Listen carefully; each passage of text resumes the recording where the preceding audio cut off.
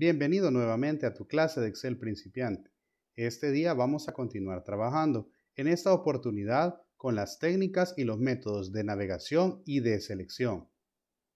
Cuando utilizamos Excel en nuestro trabajo, es importante que sepamos optimizar nuestro tiempo. Esto nos va a servir para ser más productivos. Tenemos en pantalla un ejercicio, una tabla de ventas del primer semestre del año 2000X donde los vendedores del 1 al 10 han realizado sus ventas de enero a junio, teniendo como resultado una columna total, así como también una fila total, que nos va a dar el total de cada uno de los meses que han pasado de nuestro primer semestre. Para poder utilizar nuestro teclado y nuestro mouse de forma efectiva y poder hacer uso de la navegación en Excel, vamos a aprender las siguientes técnicas. Primero que todo, para poder hacer la navegación, vamos a utilizar las flechas o los cursores que se encuentran en nuestro teclado, también llamadas flechas de navegación. O podemos también utilizar nuestro mouse.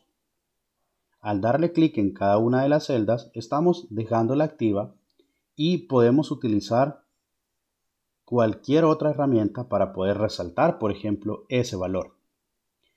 También es importante saber que vamos a estar utilizando en esta tabla las técnicas de selección.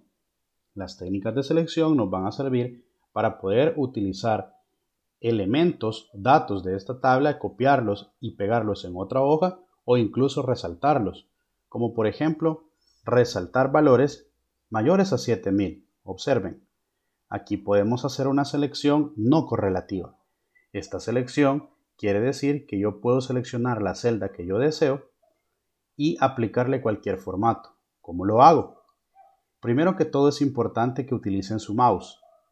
Le dan clic y dejan activa la primera celda que quieren rellenar y luego mantienen presionada la tecla control en su teclado y así van a utilizar la selección no correlativa. Ya de esta manera podemos resaltar lo que nosotros querramos, dejando algunas celdas en blanco.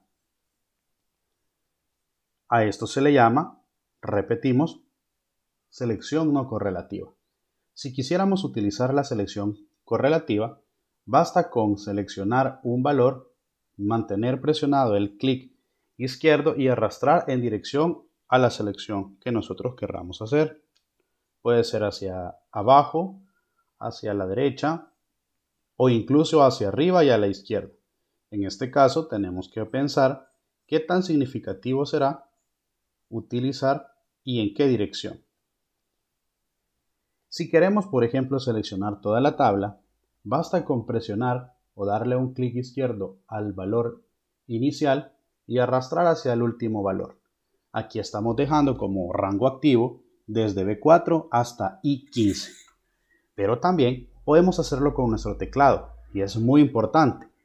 Mantener presionada la tecla control y presionar una de las teclas de navegación, por ejemplo la de la derecha, nos va a servir para poder irnos hasta el final de ese rango, rango de selección que estamos utilizando.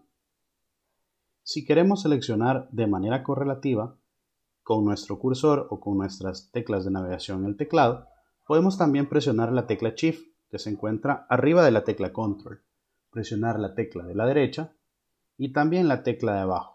Esto nos permite hacer una selección correlativa. Ahora, si nosotros queremos seleccionar todo un rango completo, es más fácil que utilicemos la tecla Control, luego la tecla Shift, presionamos una vez a la derecha y una vez hacia abajo. Y de esta manera vamos a seleccionar todo nuestro rango rango en el que estamos trabajando, ya que Excel cuenta con esa inteligencia de discernir que, por ejemplo, en la columna J ya no tenemos datos, ni mucho menos en la fila 16. De esta manera es como vamos a estar utilizando algunas técnicas de teclado y mouse para poder hacer uso de la navegación en nuestra hoja de cálculo. Si pones en práctica lo que aprendiste en esta clase utilizando tu mouse y tu teclado para la navegación y la selección, serás eficaz en tu trabajo. Recuerda que seguirás aprendiendo en los próximos videos.